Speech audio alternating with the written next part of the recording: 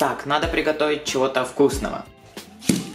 Так, это все, что у меня есть.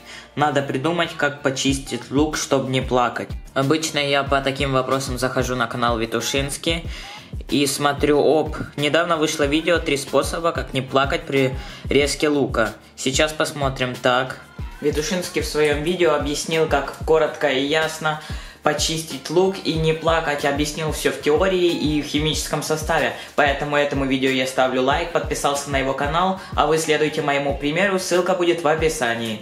Вновь играем в мафию. Если я буду мафией, я первый убью его, затем убью его. Денис, я должен быть мафией. Давай мне. Я должен быть мафией.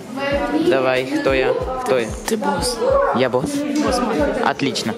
Андрей делает краш-тест телефона Георгия. Она его добить хочет. У меня типа новый телефон, но я по привычке Добиваем. Ого, они его добивают.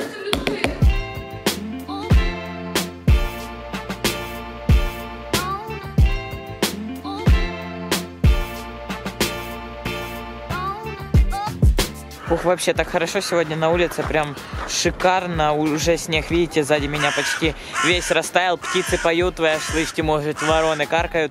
Я иду по такому мини-леску, сейчас надо дойти до парикмахерской, и уже так хорошо, весна наступила. Я уже жду завтра, потому что завтра у меня первое занятие э, в этих курсах телеведущего, или как там их можно назвать, на 1 плюс 1, и буду надеяться, что там есть что поснимать, что я смогу, главное, поснимать, и тогда я поснимаю, поэтому ждите завтрашнего влога.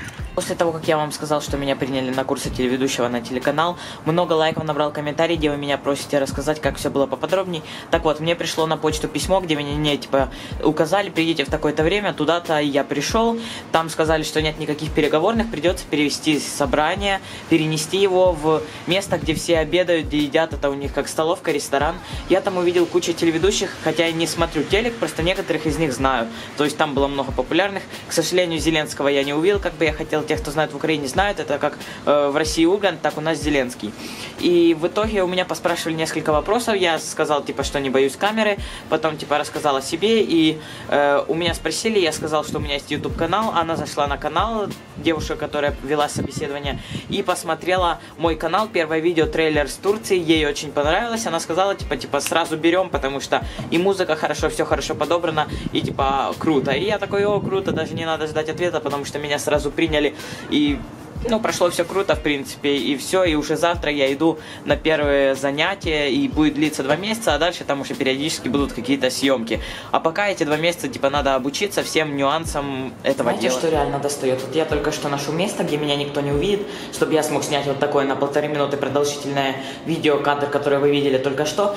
И ненавижу, когда подходят и начинают прям таращиться. Мне на людей все равно. Главное, они подходят и начинают таращиться. Ну прям реально бесит.